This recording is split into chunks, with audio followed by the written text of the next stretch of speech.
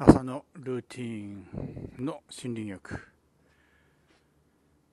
今日はね雨が降るという天気予報になっている、えー、ストーブでのね焚き火はお休み。ちょっと東風なんでね東風っていうことは要するにこっちの方にね、えー、まあお隣さんがいてそのお隣さんにねま、が窓を開けてるんでね、えー、まあ近所迷惑になると。あの家の中に、まあ、煙というか匂いが入ってしまうと。いうことを心配してね今日は、えー、ストーブでのね焚き火はお休みと。東風でなければいいんだけどね。あだんだんとね葉っぱが色づいてきたね。銅弾ツツジ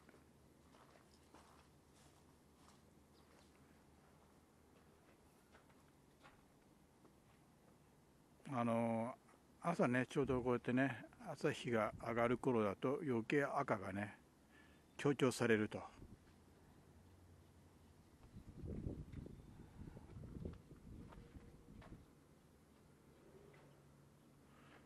れタンポポね。タンポポはこの時期でもね食べれそうだよね。あんまり美味しいと思わないんだけど美味しい美味しいって言ってまあサラダみたいにねタンポポの葉っぱを生で食べるっていう人がいるんだけど。うーんまあ慣れれば美味しく思えるのかな。ボケの実が落ちてね。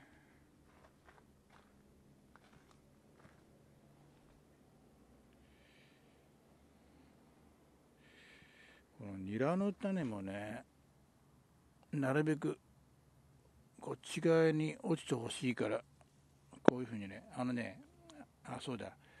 えー、要するに種を拡散する方法としてねあのー、まあ僕が考えたのは、まあ、これなんかも落ちてるけども種が、ね、全部ねほとんど落ちてるけどもこういうふうに上に伸びて遠立ちってね、まあ、要するに、え茎を伸ばして立ってでこういうふうに貸し刈るとここにここまでだいたい何センチ？50センチぐらい、ね、移動できると。これがあの植物の移動の仕方と。要するにニラもそうだけどもあの植物というのは連作障害がね起こる植物が多いと。だから連作障害が起きないようには要するに同じところから離れないといけない。離れるためにこういうふうに背を高く伸ばしてそして倒れてで種を落とすと。そうするとここまで距離がね移動できるので連作障害も逃れることができるという。これが一つの方法ね。要するに鳥が食べるわけでもなく風で舞うわけでもなく、えー、というような種は伸びて、えー、倒れて移動すると。まあ、これは僕が、まあ、僕の理論であってねこんなこと多分植物の図鑑に書いてないと思うんだけどね。植物の移動の仕方仕方としてね。いやほんと秋っぽくなってきたねこういう感じでね。赤い実がなりそして葉が赤くなると。そして上を見上げると、えー、デュラントの黄色い実がねついていると。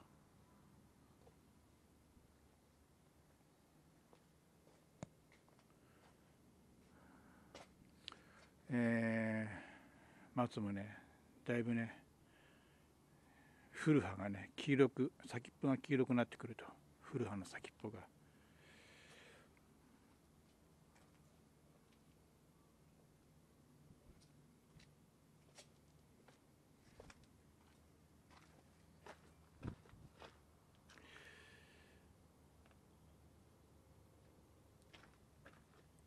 ほじそもいいんだけどもこぼれ種を期待して保持そのあまり取らないというのもあるし。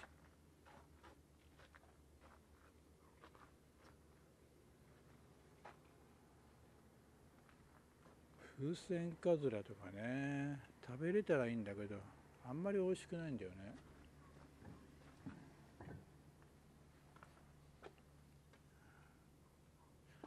ここにねさなぎがあるのよね。わかるかな？ここにねさなぎ。これで冬を越すのかな？これは青筋アゲハのねさなぎね。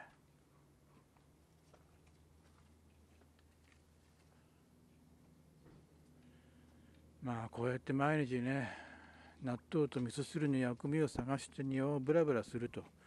これなんかもね可愛らしいね。わかるかな？つぼみなのかな？赤いね。種種もあるのかな？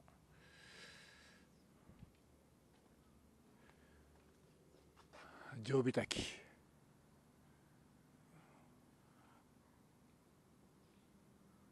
常備炊き画面の中だと分からんな。鳴き声は聞こえると思うんでね。犬つけの花も咲いているし。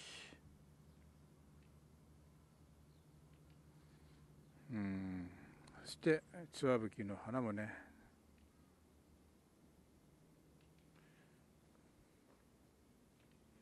紅花ボロギクそしてこれはねセイタカアワダシソウがねまた花を咲かせそうになってあここにもボケの実が落ちている。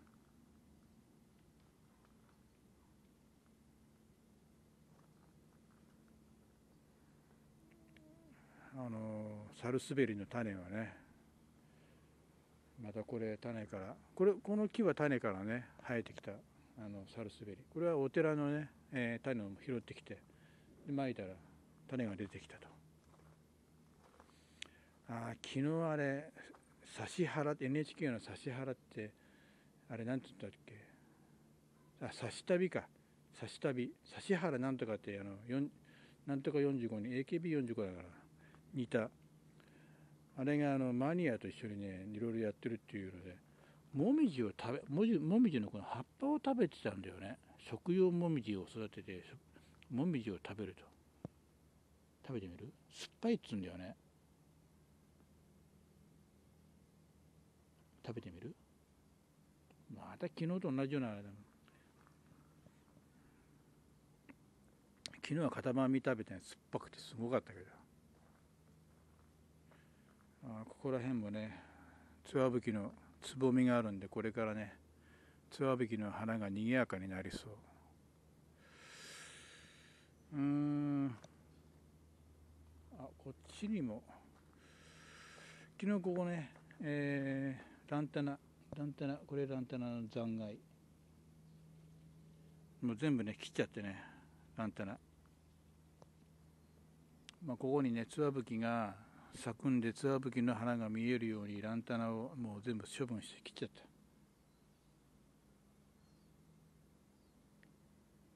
これ枯れることないんじゃない多分ね。がっつり切っても枯れない。まあこれも鳥が種運んできたやつだからいくらでももう出てくんだよねあちこちにね。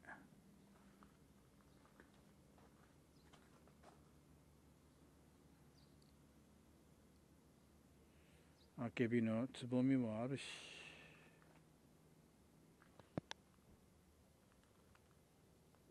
この前はペパーミントのね納豆をやって。これね昨日食べた型紙。まあ1枚食べてみる価値はあるよ。衝撃。なかなかの衝撃。で今日はレモンバーム。記憶力をね良くするというレモンバーム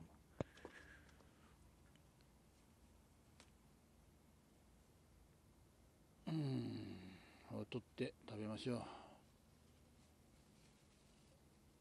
こういうふうにねあんまり伸びてほしくない方のところの葉っぱを取ってね食べればね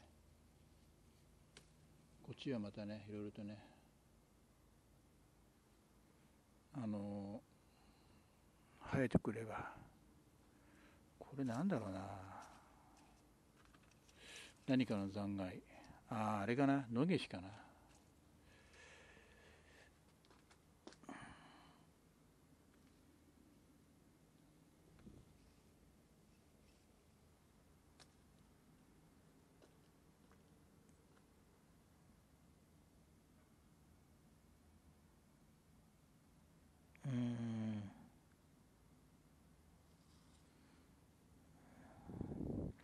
カモミールのが生えてたあれなんだけどカモミールは出てないね。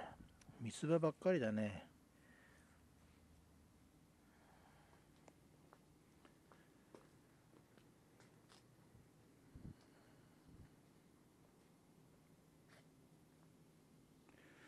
今日はレモンバームが庭の味朝日が差してね。